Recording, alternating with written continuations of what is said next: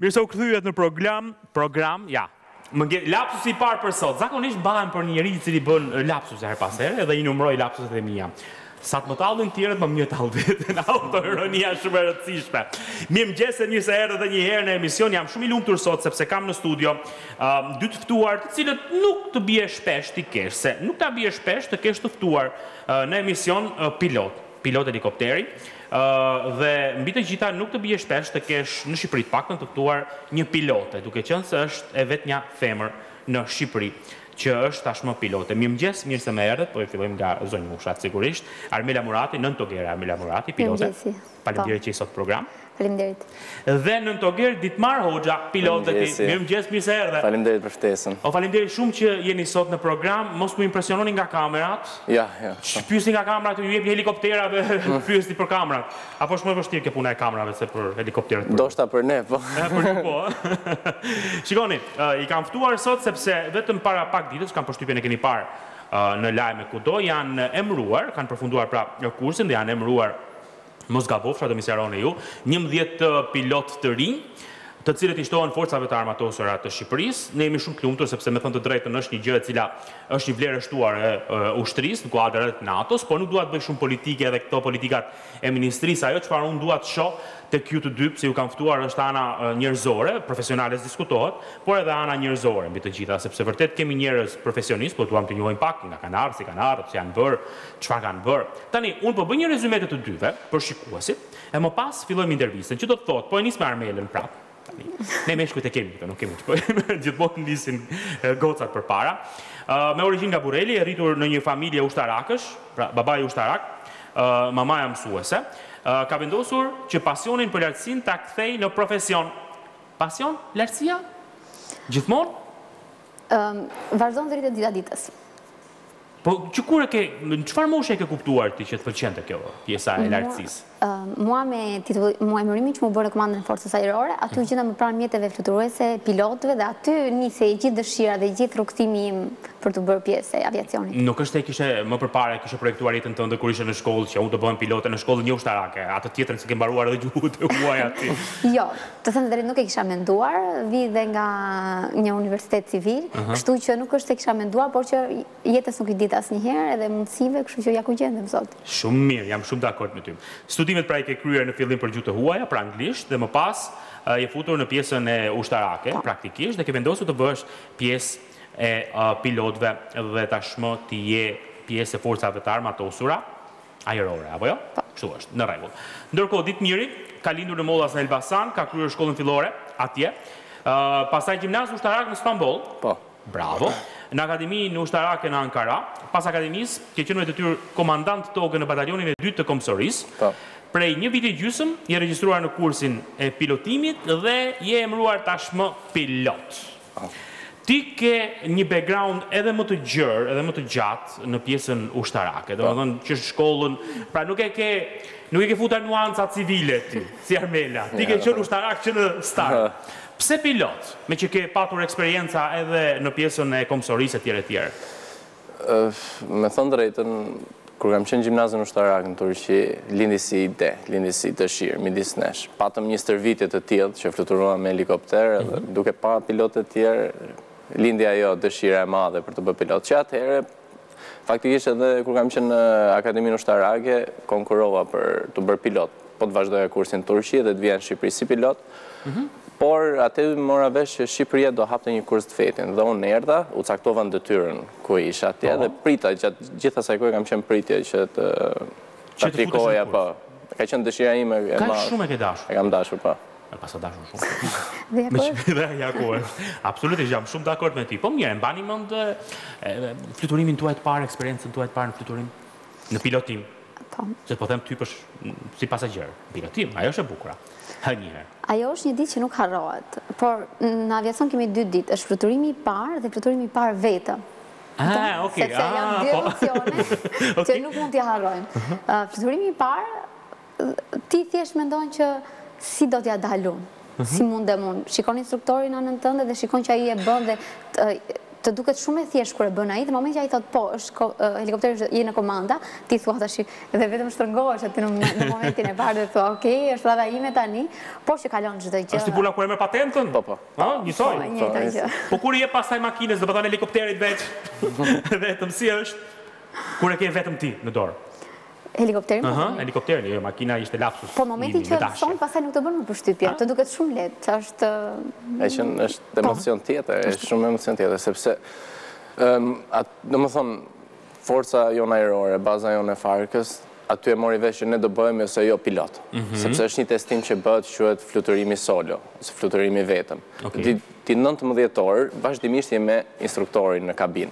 Atë ditë, instruktori zbret dhe ta le helikopterin ty. Domethënë ke thjesht nëntëmbëdhjetë orë ose njëzet orë fluturimi që i ke bërë. Një pyetje, sa kushton një helikopter?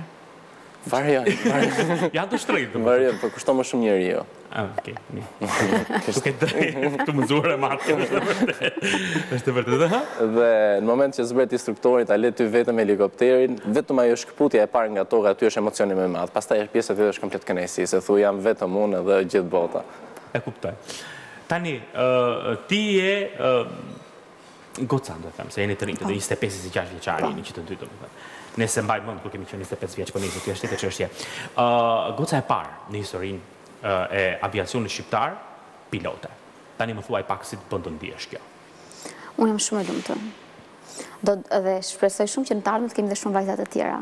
Në momentin e parë që aplikova për kursin, e dija që nuk kishte vajza të tjera dhe më gërryente pak nga brenda të them të drejtën duke qenë se nuk kemi vajza të tjera dhe thoja që çfarë i ka stepur këto vajza, se mundësitë kanë qenë. Nuk po them që kanë qenë mundësi të shumta, mhm. por Po, nëse doje bëheshe. Po, nëse doje mund të bëheshe.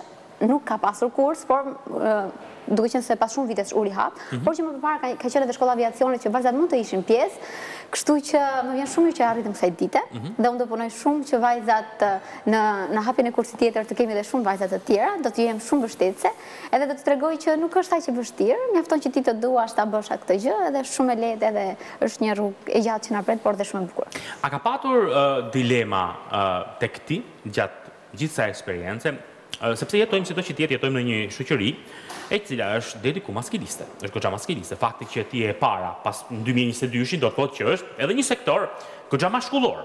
Hm? realisht ke patur nga këto dyzimet e tua, po unë jam gocë, ç'dua unë në këto pjesë, unë e vetmja gocë, pse të jem vetëm unë. Tani bëj avokatin e djallit, po më kupton. Do s'do ti ndikohesh nga fjalët e njerëzve. Në në momentin e parë që unë po merrja vendimin që të isha të konkuroja që të isha pjesë e kursit, kishin njerëzit ishin të ndarë në dy në dy grupe. Ishin ato që po shumë mirë provoje, sepse nuk ka asgjë që nuk mund të arrihet, mjafton që ti të duash ta bësh këtë gjë. Dhe ishte edhe grupi tjetër që po çfarë don, pse do bësh, pse do t'i hysh kësaj gjëje, po shumë je shumë mirë aty ku je. Kupton? Por çdo njeri ka ato pikësynimet e veta edhe qëllimet e veta se ku do të arrijë, kështu që unë doja të ndoqa instinktin tim, mhm. me mbështetjen e shumë njerëzve të familjes fillimisht, por dhe të shumë kolegëve të tjerë të punës, mhm. dhe më vjen shumë mirë që i dëgjova, edhe që ndoqa instinktin tim dhe ia arritëm kësaj dite dhe shpresoj shumë që në të ardhmen shumë vajza ta kenë mundësinë në profesion. Kush ka qenë më kundër teje? Më thuaje pak. Ti bëjmë pak kështu, me akull pa nëpërmjet ekranit, ha. Më kundër kanë qenë disa kolegë pune mund t'i quaj, duke qenë se Kolegë apo kolege, ma ndaj pak se ndonjëherë koleget janë më kundërshtare. Po, po them edhe kolegë, do të them edhe disa kolege duke qenë se më thoshin që je mirë që s'ke pse i hyn, është një është një ambient i rrethuar, mashkullor, po. Mashkullor, po. Por që e kishin për mirë, nuk është se ua kam marrë për keq, ë, kupton se çdo njeri ka ato mendimet e veta dhe se si e shikon pozicionin e tij në punë, kështu që ju jam falënderuese të dy palëve, edhe ja ku jam sot.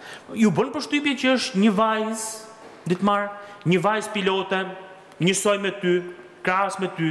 Jo, mu, personalisht mu jo. Unë, nga që kam kryer dhe studimet ushtarake kam kryer në Turqi, edhe në Turqi kishte shumë vajza që, domethënë, integroheshin të paktën ke pjesa e ushtrisë në pozicione që në Shqipëri akoma mund mos ketë femra.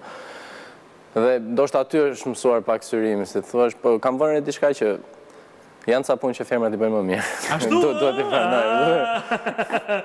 Jam dakord me ty. Realisht janë ca punë që ne mendojmë që i dimë shumë po, mirë po. për t'i bërë, por i bëjnë shumë më mirë femrat. Shiko, nuk mendove në një moment për ty, për shembull, Ti po mos kishe vazhduar pjesën ushtarake, do ishe bërë një mësuese shumë e mirë e gjuhës angleze, do ishe shumë qetë, shumë normal, e doje patjetër këtë adrenalinën e fluturimit, e e militarizmit, ë? Do e doje patjetër këtë gjë, mund të kishe bërë një jetë shumë qetë, nuk je tipi i jetës së qetë ti, je më shumë shpërthyese, je më shumë njeriu që kërkon nga vetja.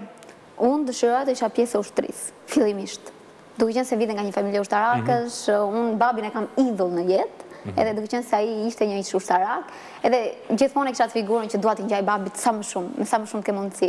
Pasi mbarova gjimnazin, unë dëshiroja që të aplikoja për që të isha pjesë e ushtrisë, mhm. por në atë vit që unë mbarova, kishte vetëm bursa për jashtë vendit dhe nuk doja jashtë vendit sepse jam shumë e lidhur me familjen. Mora drejtimin civil, Por mendjen, atë dëshirën e brendshme e kisha akoma dhe në momentin që u hapën u hap aplikimet për t'u mhm. bërë pjesë e ushtrisë, unë nuk e mendova dy herë, bashkë me babin i kemi bërë ato letra, nuk e di domethënë në kor, kor që unë të isha pjesë dhe më pas duke qenë se u bëra pjesë e ushtrisë shqiptare, më pas emërimi në forcën ajrore është e gjithë histori. Edhe ti ke background ushtarak, po. madje ti je djalë dëshmori. Po. Ëh, baba yt Ka ndërruar jetë, mos gabofsha, në nëntëdhjetë e shtatën, si dëshmor, është dëshmor i kombit. Po, në Shkodër. Në Shkodër. Ka qenë në mbrojtje të repartit Shkodër. E kuptoj. Dhe sigurisht që kjo ka ndikuar tek ti, kam përshtypjen unë. Ka ndikuar që ti të marrësh këtë drejtim. Besoj se ka qenë një një ëndërr e lënë përgjys nga babai im, edhe unë e vazhdova më tej. Domethënë nuk e nuk e shifja dot veten në pozicion tjetër. Domethënë ndonjë aspekt tjetër. Ndoshta ushtria është thjesht fillimi i karrierës time të gjatë, nuk i dihet jetës asnjëherë, por që unë doja të isha të paktën në hapat e tij. E kuptoj, dhe mirë ke bërë. Realisht mirë ke bërë. Shiko, më më shuani pak kuriozitetin. Ë, tani, ju i jepni helikopterit, jo avionëve, apo jo? Po. Është e vështirë, domethënë kush është më e vështirë? Është më e vështirë të japësh helikopterit apo avionit? Mu m'duket sikur helikopterit, pak se është më i vogël, jo? Helikopteri, po, është më e vështirë. Është më vështirë helikopteri? Është më e vështirë helikopteri. Se avioni? Po. Po pse? Sepse helikopterat në përgjithësi fluturojnë shumë afër me terrenin. Po. Edhe janë shumë të ndikueshëm nga faktorët, domethënë atmosferik, qoftë era, klima, Reshjet, akullnajat, gjithçka. Ashtu ë? Po, po. Po mirë, ë, mund të bëhesh pilot avioni pastaj pasi ke marrë licencën për pilot helikopteri? Ka një kurs që duhet patjetër ta kalosh, si tip patente që duhet ta bësh ti atë, por do ishte shumë më e thjeshtë për një pilot helikopteri që të bëhej pilot avioni. Si bie, domethënë ai që di makinën mund të marri atë patentën për kamione, e njëjta gjë kam përshtypjen unë? Pak a shumë. Ok, po, po mundohem. Po, kursin do të bëj. po mundohem ta thjeshtëzoj në mënyrë kështu sa më më të lehtë të jetë e mundur. Ë, uh, të pengon kjo pjesa se unë me ty do kapem pak. Ti e di këtë gjë. Fakti i të qenit ushtarake, fakti i të qenit në një profesion orar pa orar, se kjo është një profesion orar pa orar, kam përshtypjen unë apo jo? Po. Keni turne të po. ndryshme, po, nuk ka kur është e nevojshme. Të pengon në jetën tënde personale kjo gjë? Nuk më pengon, sepse është Tash, është një profesion që unë e kam zgjedhur në jetë. Po mirë. Edhe unë do e bëj me shumë dëshirë. Po mirë, unë nuk po them për atë, unë po them për pjesën, domethënë unë e di që ti do ta bësh me shumë dëshirë. Po them për pjesën tënde personale, ti je njëzet e pesë vjeçe, ti do të dalësh të pish kafe me shoqërinë, të shkosh në pub, do të shkosh në klub, të njohësh ndonjë djalë, nëse s'e ke njohur më përpara, nëse s'e ke, domethënë, më kupton? Është e vërtetë që pilotimi kërkon një një regjim shumë të saktë ushqimor edhe me gjumin edhe me stërvitjen edhe çdo gjë. Ja, por edhe që... të saktë në përgjigje se ma kaloi direkt tek ushqimi dhe tek gjumi, ëh. Por që unë do t'i balancoj të dyja, është është jeta ime dhe mhm. unë do zgjedh ta jetoj edhe me pilotimin, por edhe me jetën civile. E kuptova. Ti kështu beqar apo jo? Beqar, jo. Okay. Uh, e she të ardhmen tënde, partnerin tënd në të ardhmen jashtë sistemit ushtarak apo brenda sistemit ushtarak duhet patjetër të jetë një person i cili e kupton punën tënde. Unë nuk do t'ja taks vetes, do them që fati nuk i dihet asnjëherë, edhe nëse është në pjesën ushtarake dhe në pjesën civile. Imagjinoni sikur të jeni kështu me pilot pilotimi është me një me një pilot apo me dy? Me dy dy helikopter. Imagjino. Me dy pilot. Me dy pilot. Po. Imagjino, s'do merresh vesh kur. Kjo është pak për siguri, jua thotë njëri që është i martuar. Ë, uh, shiko, çfarë ka më të vështirë pjesa e pilotimit? Dhe çfarë ka më të lehtë, nëse mund të ma bëni një lloj balance të tillë? S'ka. Ë, më të vështirë është, më thënë, të arrish që se pak duhet të bëhesh dhe duhet të shikosh dhe pak në të ardhme, do më thënë duhet të jesh dhe pak largpamës kur vjen puna te helikopteri. Se ti okej, mund t'i lexosh shumë mirë çdo gjë që ndodh në helikopter, mund ta kuptosh, mund ta pilotosh, po që duhet të jesh dhe pak, si ta them unë, duhet... Improvizim. Po, që është pjesa më e vështirë është që këto gjëra, siç janë tani, mund mos jenë mas dy minutash, më kupton? Ka të papritura. Po, ka shumë papritura. Domethënë, thjesht ti duhet t'jesh i përgatitur. Kjo është gjëja më e vështirë, që t'jesh komplet i përgatitur që t'i nxjerrësh emocionet nga loja komplet, sepse emocioni t'vret në profesionin tonë. Emocion. Kurse pjesa e kurse pjesa e pilotimit e tjera, ato gjëra ma ma vrat gjithë intervistën. A dini pse? Sepse unë kisha, s'ju solla ju në studio për të treguar që ushtarakët Kanë dhe ndjenja, kanë dhe emocione. Emocioni t'vret! Në momentin që zbret nga helikopteri mund të kemi emocione, jo, por te helikopteri nuk na lejohen. Bëj shaka, bëj shaka, se dua ta bëj sa më, më komode si bisedë. Shikoni, unë realisht jam shumë i lumtur që ne kemi djem dhe vajza të rinj, dhe kaq pasionant, si ju, që e doni shumë këtë punë, një punë që s'është e lehtë, përtej shakave, një punë e cila ka shumë përgjegjësi, Ka jetën, pastaj çmimin e helikopterit, po ç'rëndësi ka kjo, dhe jam shumë mirënjohës, unë dhe besoj gjithë shqiptarët që ju keni marrë këtë këtë drejtim. Realisht, ju falënderoj shumë. Faleminderit ju. Lamë gjë pa thënë? Hë, thuaje. Mund të bëjmë një falënderim dhe të përmendim dhe shokët e tjerë, duke qenë se jemi po. Ju jeni 11, ku t'i fu? Po, jemi 11. Po ku t'i fus 11 te këtë studio? Jo, ato janë të lumtur që nuk kanë ardhur. I kemi dy përfaqësues. Kështu që U urojmë shumë suksese çunave dhe i falenderojmë shumë Komandën e Forcës Ajrore, Bazën Ajrore Farkë, por dhe instruktorët dhe teknikët për punën e tyre të palodhur. Po. Faleminderit. Okej. Faleminderit. Atëherë, besoj se po. Edhe çdokush që ka besuar ke ne, përfshirë dhe familjen. Po. Kjo është shumë e rëndësishme. Ju falenderoj shumë që ishit në program sot. Jam shumë i lumtur që ju njoha. Faleminderit. Shumë suksese. Faleminderit. Nuk e di, është një nga këto intervistat shumë pozitive, e cila jep shumë energji pozitive dhe tregon që përtej uniformës ka njerëz, dhe njerëz të mirë. Dhe unë i kam shumë qef këtë lloj intervistash. Publicitet, rikthehemi pas pak.